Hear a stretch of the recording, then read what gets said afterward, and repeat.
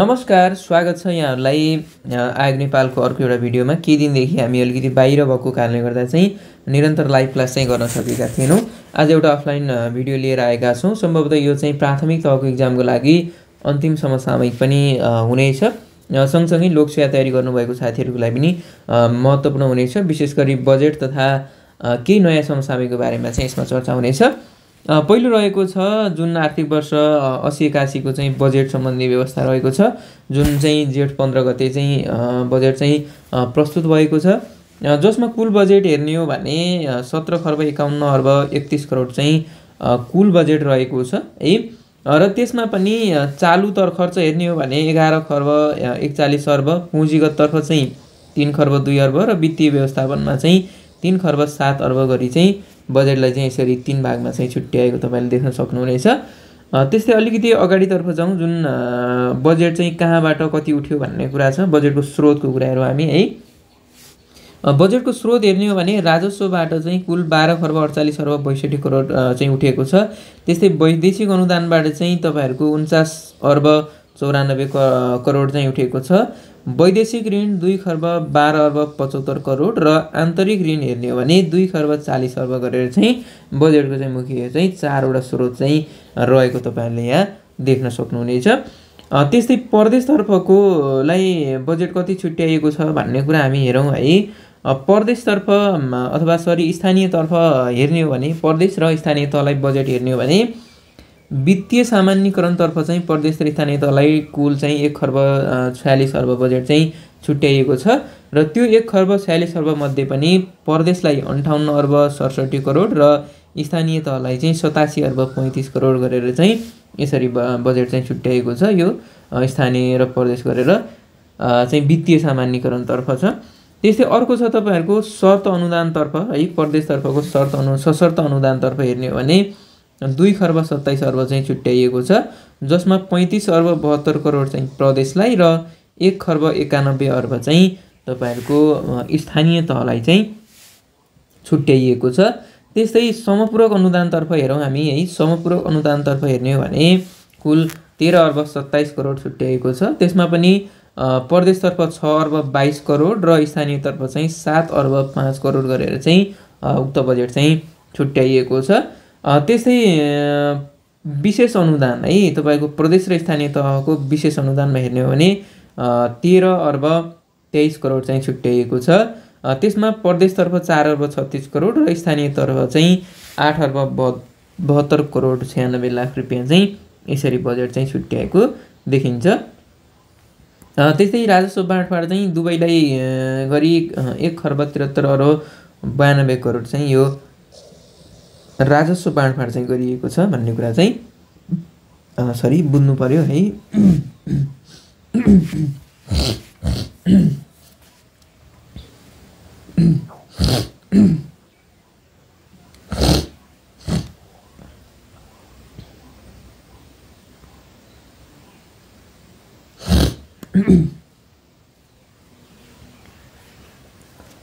त्यस्तै विशेष अनुदानमा तेह्र खर्ब तेइस करोड छुट्याइएको करोड छुट्याइएको छ र त्योमध्ये चाहिँ प्रदेशलाई चार अर्ब छत्तिस करोड र स्थानीय तहलाई चाहिँ आठ अर्ब बहत्तर करोड छ्यानब्बे लाख चाहिँ छुट्याइएको छ। त्यस्तै राजस्व बाँडफाँड चाहिँ दुवैलाई तपाईँहरूको प्रदेश पनि स्थानीय तहलाई पनि गरेर चाहिँ कुल एक खर्ब त्रिहत्तर अर्ब बयानब्बे करोड चाहिँ यो राजस्व बाँडफाँड चाहिँ गरिएको छ। है। अब त्यस पछाडि यहाँ चाहिँ तपाईँहरूको यो बजेटका प्रमुख विशेषता रहेको छ यसमा खासै हेर्नुपर्ने चाहिँ छैन है। आर्थिक वृद्धि दर चाहिँ छ प्रतिशत हुने चाहिँ अनुमान बजेटले राखेको छ है। यो छ प्रतिशत हुने अनुमान चाहिँ राखेको छ बजेटले। तर अस्ति चाहिँ तपाईँहरूले आर्थिक सर्वेक्षण हेर्नुभयो होला। आर्थिक सर्वेक्षण अनुसार आर्थिक वृद्धि हेर्नु भने दुई दशमलव एक छ प्रतिशत मात्रै रहेको अनुमान चाहिँ आर्थिक वृद्धि दरले गरेको तपाईँहरूले सरी आर्थिक सर्वेक्षण उनासी अस्सीको तथ्याङ्क अनुसार देख्न सक्नुहुनेछ। त्यस्तै मुद्रास्फीति हेर्ने हो भने छ पोइन्ट पाँच प्रतिशतमा चाहिँ सीमित राखिने प्रक्षेपण चाहिँ बजेटले गरेको छ। धेरै कुराहरू छ यसमा है अन्य धेरै कुराहरू छ तपाईँहरूले चाहिँ बजेटको कुराहरू हेर्न पनि सक्नुहुनेछ। त्यसमा एउटा अन्ठानब्बे प्रकारका औषधि निशुल्क गर्ने भनेको छु। यो खासै त अहिले तपाईँहरूलाई महत्त्वपूर्ण छैन है। म चाहिँ अगाडि बढेँ यसमा है। तपाईँहरूले बजेटको पूर्ण सार चाहिँ हेर्न सक्नुहुनेछ। यसको लागि हामी अर्को एउटा नयाँ भिडियो चाहिँ बनाउनेछौँ। बजेट सम्बन्धी छुट्टै एउटा भिडियो है। त्यस्तै अर्को दोस्रो रहेको छ समसामयिक। गीतकार सङ्घ नेपालले गीतकार वर्ष अमर भावना सम्मान दुई हजार उनासीबाट कसलाई सम्मानित गर्यो भनेको छ? यो चाहिँ दुर्गालाल श्रेष्ठलाई चाहिँ सम्मानित गरेको छ है। याद गर्नुहोला गीतकार वर्ष अमर भावना सम्मान है। गीतकार वर्ष अमर भावना सम्मान भन्ने बित्तिकै दुर्गालाल श्रेष्ठ भन्ने याद गर्नुहोस् है। सम्मान स्वरूप चाहिँ एक लाख एकाउन्न हजार रुपियाँ र ताम्रपत्र चाहिँ प्रदान गरिएको छ भन्ने कुरा रहेको छ। अब यो कति पुरस्कार प्रदान गरियो भन्दा पनि कसलाई प्रदान गरियो भन्ने कुरा महत्त्वपूर्ण हुन्छ है?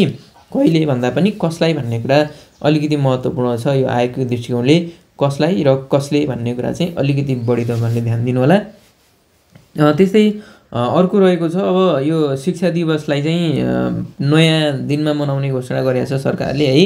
अबदेखि चाहिँ असोज दुई गतेलाई चाहिँ शिक्षा दिवस चाहिँ मनाइन्छ। यहाँभन्दा पहिला चाहिँ सेप्टेम्बर आठमा चाहिँ तपाईँहरूको शिक्षा दिवस मनाइन्थ्यो। अब त्यो शिक्षा दिवसलाई चाहिँ खारेज गरेर अब भने दुई हजार असी जेठ नौ गते चाहिँ एउटा मन्त्री परिषदले निर्णय गरेको छ।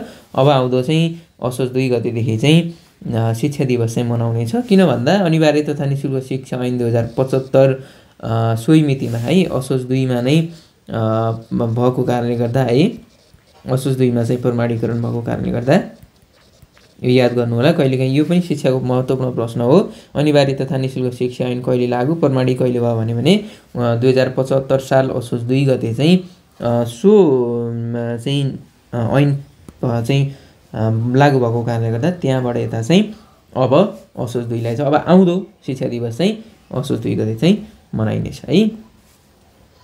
अर्को रहेको छ चौथो प्रधानमन्त्री पुष्पकमल दाहाल प्रचण्ड भारतको चार दिने औपचारिक भ्रमण क्रममा कहिले त्यसतर्फ जाँदै हुनुहुन्छ भनेको छ दुई हजार असी जेठ सत्र गते चाहिँ भारत भ्रमणको लागि चाहिँ जानेछन् प्रचण्ड सत्रदेखि बिससम्म चाहिँ उनको भारत भ्रमण चाहिँ रहनेछ है? जेठ सत्रदेखि बिससम्म रहनेछ।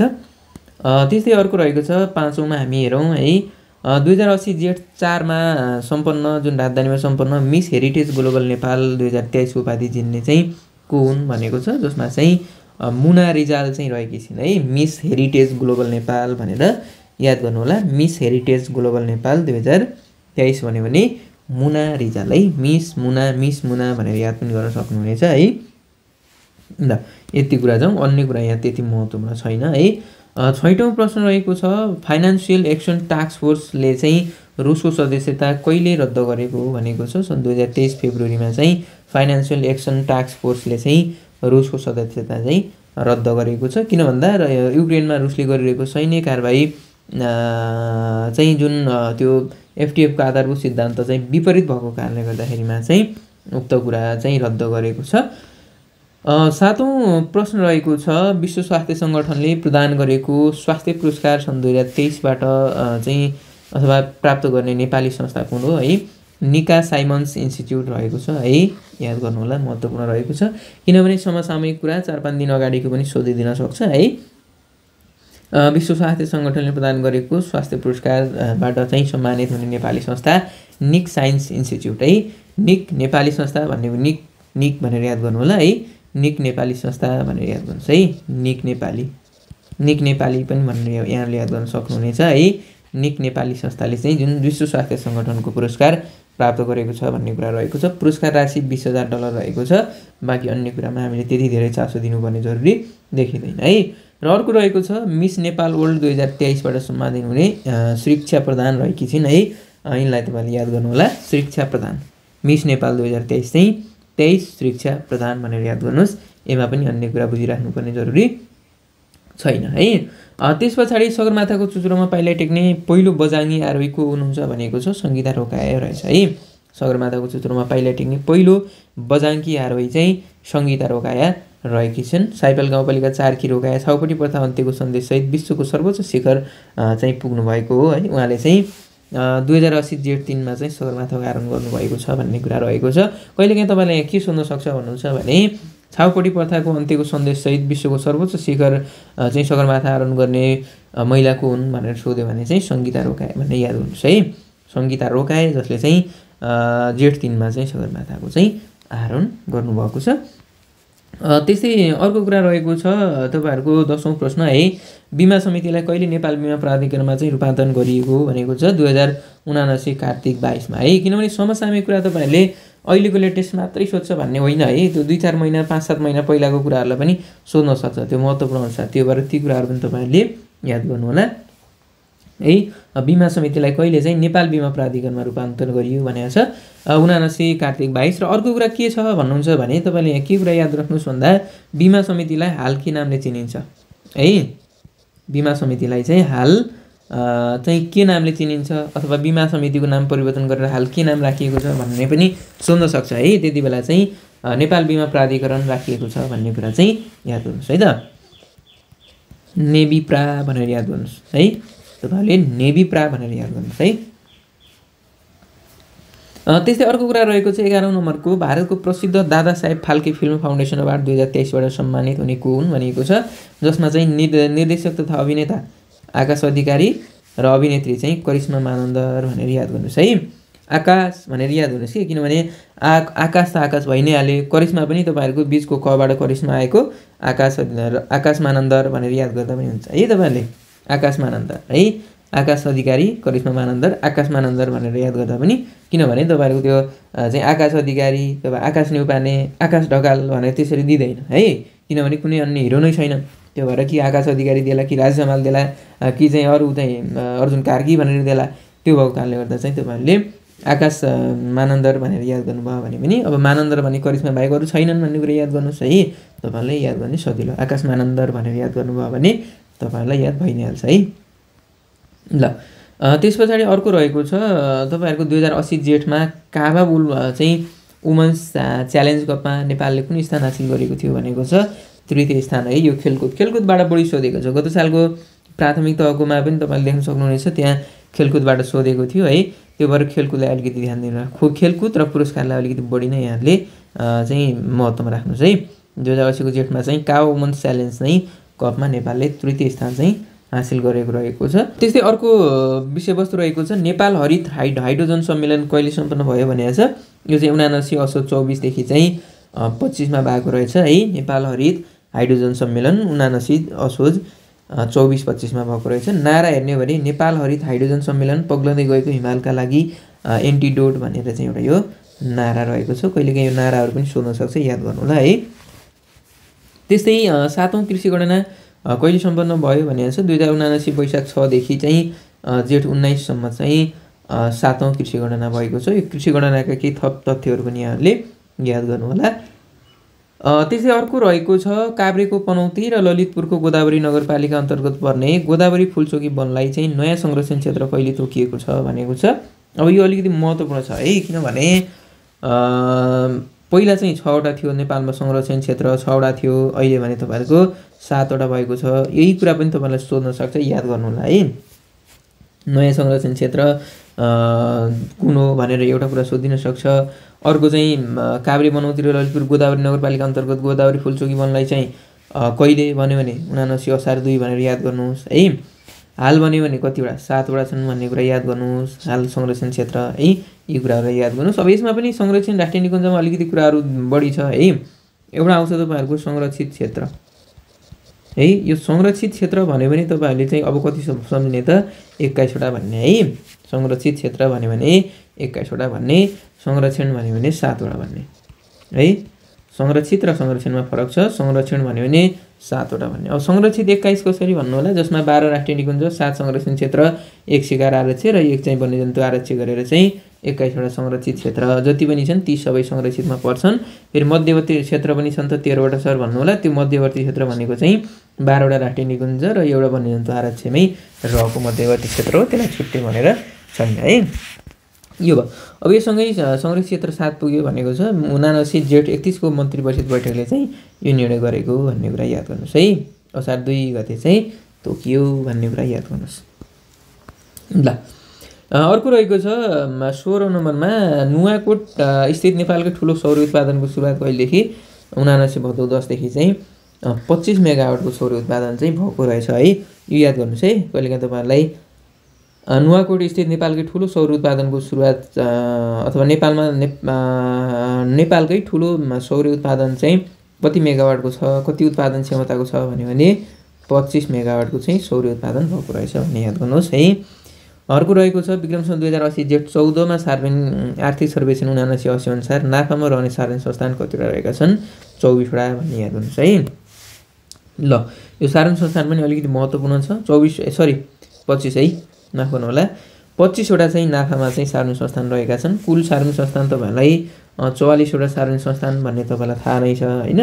अब त्यसमा पनि विभिन्न भागमा चाहिँ विभाजन गरेको छ। तपाईँहरूको सेवा क्षेत्र छ एउटा होइन? वित्तीय क्षेत्र होला औद्योगिक क्षेत्र होला सामाजिक क्षेत्र होला जनोपयोगी क्षेत्र होला व्यापारिक क्षेत्र होला यसरी चाहिँ तपाईँहरूको सार्वजनिक संस्थानहरूलाई विवरण चाहिँ छुट्याएको छ। त्यसको बारेमा हामीले धेरै कुराहरू छलफल गरेका थियौँ। अहिले चाहिँ पच्चिसवटा नाफामा रहेछ भन्ने कुरा याद गर्नुहोस् है त? ल अर्को हेरौँ हामी अठारौँमा जाउँ त। आर्थिक सर्वेक्षण उनासी असी अनुसार उनासी फागुनसम्म स्थायी लेखा नम्बर लिने करदाताको सङ्ख्या कति रहेको छ भनेको छ? त्रिपन्न लाख एकचालिस हजार एक सय अठहत्तरले चाहिँ स्थायी लेखा नम्बर चाहिँ लिएका रहेछन् अथवा जसलाई हामी प्यान नम्बर भनेर भन्छौँ है? प्यान भन्ने तपाईँले बुझ्नुभयो होला कतै तपाईँहरूसँग पनि कतिपय साथीहरू होला यदि कुनै ठाउँमा काम गर्नुहुन्छ तलबहरू लिन चाहनुहुन्छ भने त्यहाँ चाहिँ प्यान नम्बरको आवश्यकता पर्छ ब्याङ्कहरूमा। त्यो चाहिँ त्रिपन्न लाख एकानब्बे एक लाख एकचालिस हजार एक सय अठहत्तरजनाले चाहिँ लिएका रहेछन् है। ल यति कुराहरू रहेको छ। आज यति कुराहरू चाहिँ याद गर्नुहोला। र शिक्षक छु आएको प्राथमिक तहको इक्जाम आइसक्यो। अब एक दुई दिन मात्रै बाँकी छ। समसामयलाई अलिकति बढी ध्यान दिनुहोस्। पुरस्कार तथा खेलकुदहरूलाई अलिकति बढी ध्यान दिनुहोस्। त्यस सँगसँगै सूचकाङ्कहरू छन् विभिन्न किसिमका सूचकाङ्कहरू छन्। ती सूचकाङ्कहरूलाई पनि तपाईँहरूले राम्रोसँग याद गर्नुहोस् है। बाँकी आजलाई यति नै। हामी सम्भवतः साँझ आज हामी केही अन्य समसामयिकमूलक क्लासहरू लिएर चाहिँ लाइभ आउन सक्छौँ। त्यति बेला चाहिँ तपाईँहरूसँग अवश्य पनि भेटौँला। अहिलेलाई छुट्टिन्छौँ। हवस् त। नमस्कार।